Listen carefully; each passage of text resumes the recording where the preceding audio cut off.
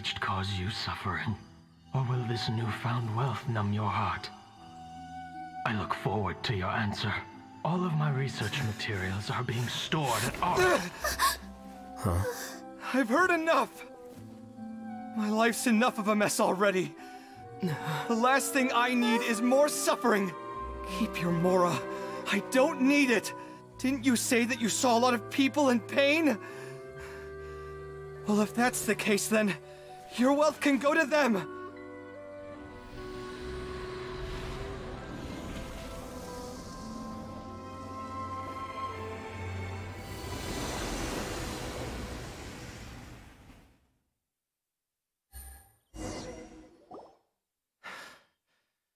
I guess that'll be the end of that.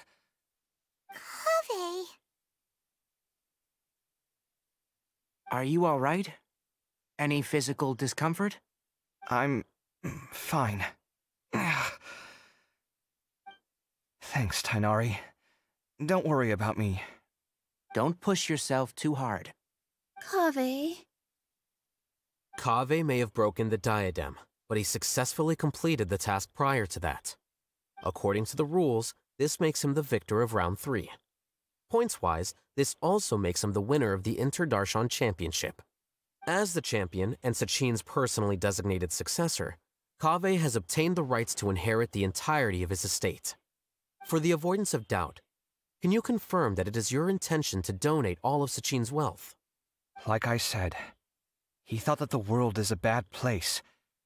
Well then, let's use what he left behind to change it for the better. Rejecting the world will achieve nothing. He and I, we're not the same. All right. As the scribe, I will make a record of this incident on file. The sages will contact you in person for details on how exactly Sachin's estate is to be used. That sounds fine. I don't know if his research findings were right, nor would I know how to finish his research for him. But what I do know is that by ending this here, no contestants will have to suffer. We won't be the last.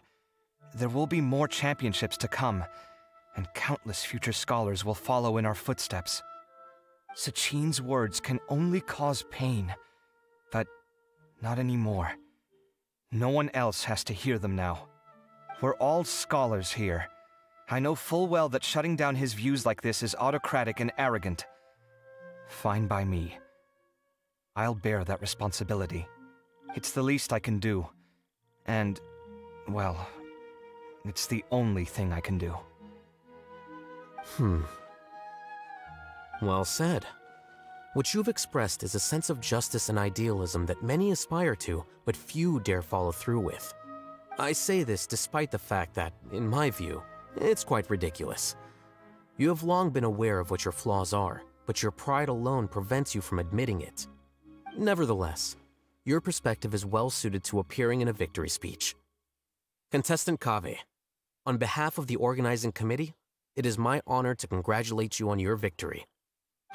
What? Please. I don't need your insincere praise. Anyway, this isn't the time or place for debates. Keep your commentary focused on the competition, not my views. Congratulations, Kaveh. Also, you'll need to prepare for the award ceremony. Looks like the ceremony will be held at the main venue. Let's head over and check it out!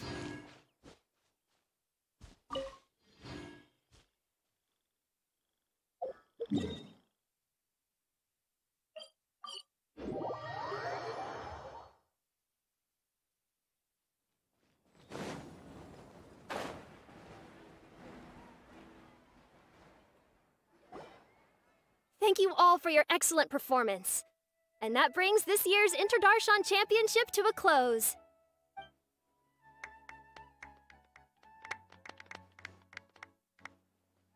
Finally, it gives me great pleasure to invite our champion, Kaveh, to the stage to receive his award.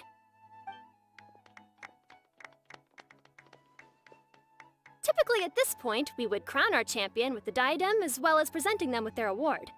However, we have just received word that Kaveh has inherited Sachin's estate and made the decision to donate it all to charitable causes.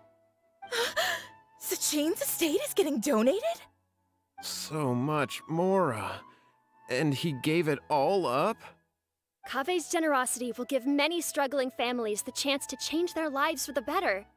Of course, without the diadem and prize money to present, this makes the award ceremony a little more concise than expected. Would you like to say a few words, Kaveh? I'm sure many of our audience, like myself, are curious to learn why you decided to give all this wealth away. I'm not entirely sure what I should say under these circumstances.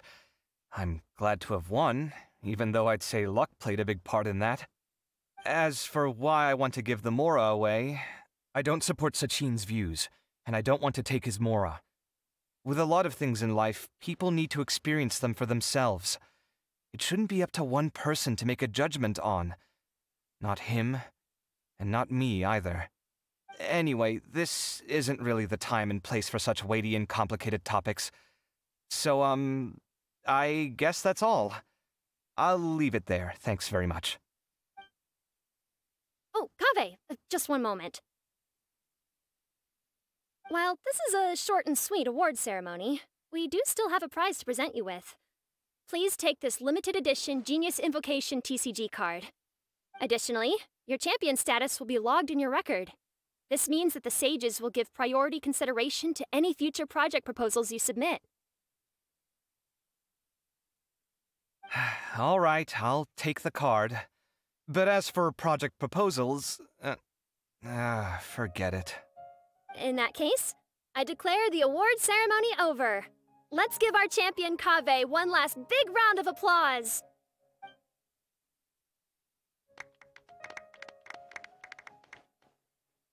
I still don't really get it. The sum of Mora would have been enough for me to live in luxury for my entire life. That just means you're not strange enough to understand the way that geniuses think. Come on, we've still got the whole Wisdom Gala to explore.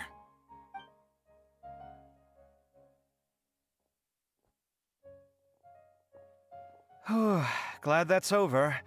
I think I'm quite good at giving speeches, but this one was just so tiring. Do you mean that you're still exhausted from the competition? Honestly, you don't look happy at all, but whatever else happened, you're the champion, you know? Don't you think you should be proud of that? I suppose. oh, wait. Cyno said he wanted the card, didn't he? And now I have it, right here.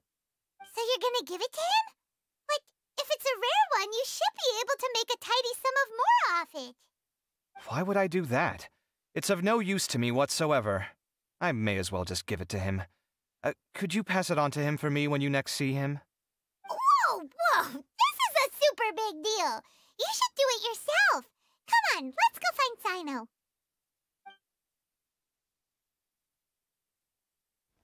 Huh? But I was gonna rest for a while longer. Uh, hey, hey, stop pulling my hair!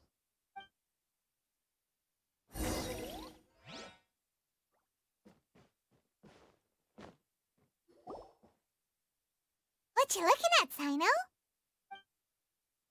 I'm still thinking about the Sachin issue. What brings you here? Well, they gave me this limited edition Genius Invocation card, and I figured you'd have more use for it than I. But it's a limited edition.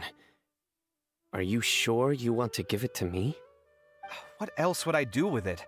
I have no use for it.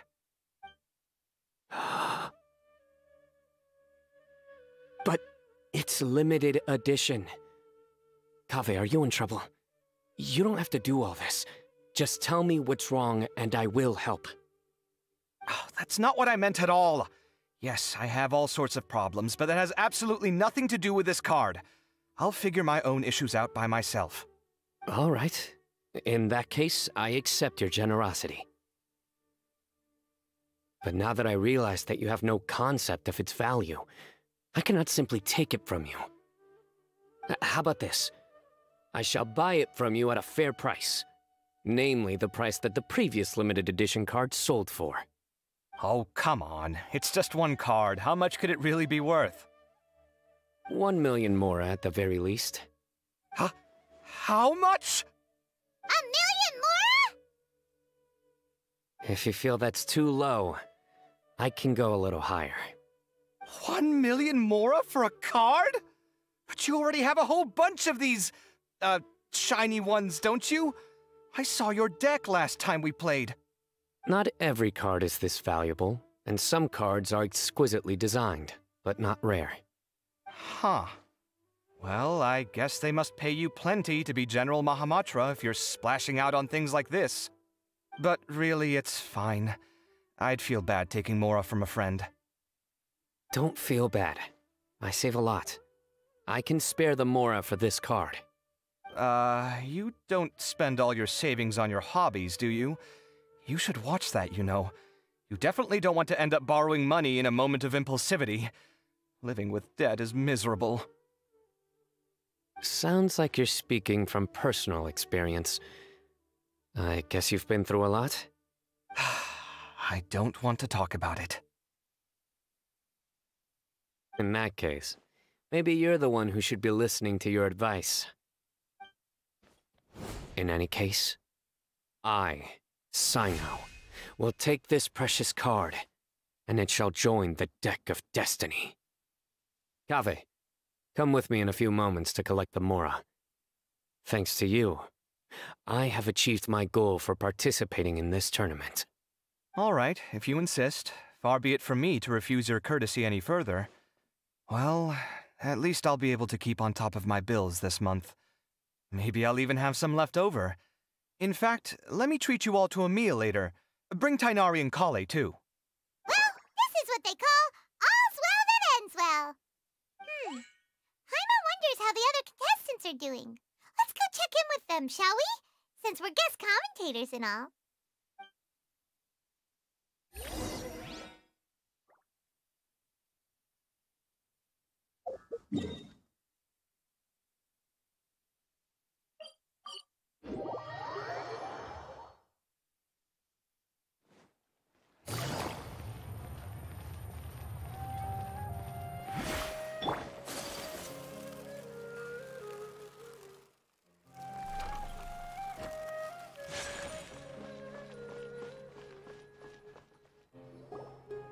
I'm telling you, you can't go wrong taking advice from me on what to wear.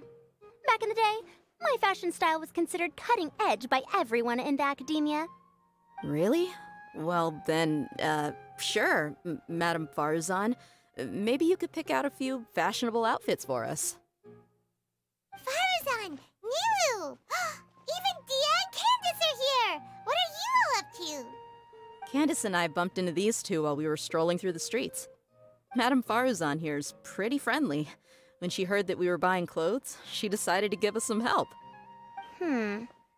I don't really see anything I'm familiar with. Never mind. We can purchase some textiles and make the clothes ourselves. Let's go with the plain fabric as our base. And embroider red and pink flowers on. Oh, and some green leaves. Oh, wait a sec. Uh, you sure that's the latest style? That sounds a lot like what the older folks back home would wear. Don't worry. This style is a timeless classic. Uh, no thanks. This is actually sounding pretty weird. Wait, wait, wait. Madame Faruzan's right. That style is a classic and used to be mainstream fashion. But these days, there are some other options too. If you don't mind, how about I pick some clothes out for everyone? It's not often that we get to meet up, especially since Candace rarely makes it to Sumeru City. Also, I know a few places where I can get a great bargain. Sure. I'm happy to leave it to you. I'll come with you to have a look. One always has to keep on top of what the youth of today are into. Madame Faruzan? Uh, Come quick! She's over here! Hmm? Who are you? We're new in the Akademiya. We saw all the amazing things you did during the competition. Do you have any classes we could sign up for? Ahem. Of course I do. And you're both very welcome to join. That's great! We can't wait. Um, what's your area of research? Precision mechanics? I'm from Haravatat. Huh? But you seem like an expert in machines. Wait, sorry. I remember now. You were representing the Haravatat Darshan in the championship. Oh, their classes are so boring, though. I'm sorry, ma'am. Let me know if you run any other classes in the future. I'll be there. I knew it. What about you? Aren't you going to leave with your friend? I think you're amazing, Madame Faruzan, and I'd like to learn from you for a while, if possible. I can take the class you're teaching as an option, even though cross-Darshan lessons might be a little tough to arrange. But I look forward to learning from you. I see. You're a good egg, child. Don't worry. Study under me, and I promise you, you will get the best teaching available. Thank you so much, ma'am. Well, I won't disturb you any further. See you in class. I don't quite understand what happened there, but congratulations, I think. Traveler, Paimon, would you two like to come and pick out some clothes? Sorry, we can't. We've got a meal with Kaveh later, and we have to check in with all the other contestants before then. Oh, by the way, have any of you seen Hat Guy or Layla? I don't know where Hat Guy went. We just saw Layla not too long ago, though. But she was hanging out with some other Rtawahist students, so we didn't get a chance to speak with her. Are you gonna go and see what she's up to? Rtawahist students? They must be the ones who voted for her to enter the competition, right? Oh, she didn't end up winning, so Paimon wonders how they feel about that. Let's go take a peek.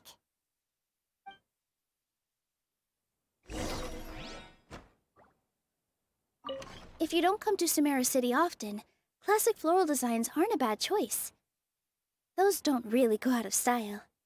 And of course, since you're putting this on your body, you need to consider the type of fabric the clothes are made from. Some materials might look stunning, but they can be terribly uncomfortable to wear. Agreed. After all, is fashion not the constant phasing in and out of classics? In that sense, you could always consider the style I suggested too. Wait, uh, sorry, ma'am, but I think it could be quite a while before the style you recommended comes back into fashion. I actually think the style recommended by Madame Faruzan is quite beautiful. Isn't it just? You have a discerning eye, my dear.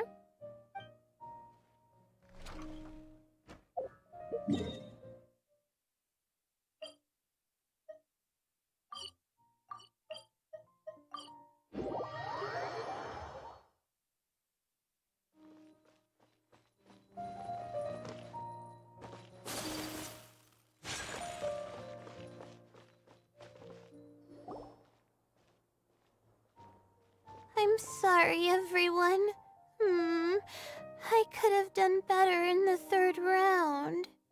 Oh, stop it! If you're going to beat yourself up after doing as well as you did, how bad does that make us look, huh? Heck, it's not like any of us had the guts to enter the championship. I didn't see the whole thing, but you were the only contestant who scored points in both the first two rounds, right? And I heard that you actually found the diadem first in round three. you came so close to winning the competition. Aw, I just got lucky, I think. That can't be true. You had some really stiff competition out there. The renowned Tighnari from Amurta, even Cyno the General Mahamatra was there. You're amazing, all of you. Getting points off them is a huge achievement. The way I see it, people aren't exaggerating one bit with the nicknames they give you. You are a genuine genius. Aw, thanks a lot. But I really don't think I qualify as a genius. In the second round, for instance, I dozed off and somehow found myself beside the device when I came to. Ah, come on, don't be so hard on yourself. We've decided we're taking you out to celebrate, and that's final. Let's go. Cheer up, Layla. The rest of today's all about you. Looks like things are going well for Layla. This is great! Hmm. I haven't seen Hat Guy since the end of the competition. Eh, oh well, it's almost mealtime. We'd better go meet up with Kaveh and Cyno now.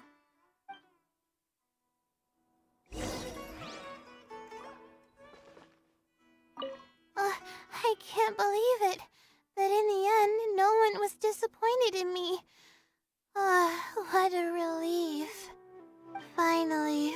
Ooh some good sleep.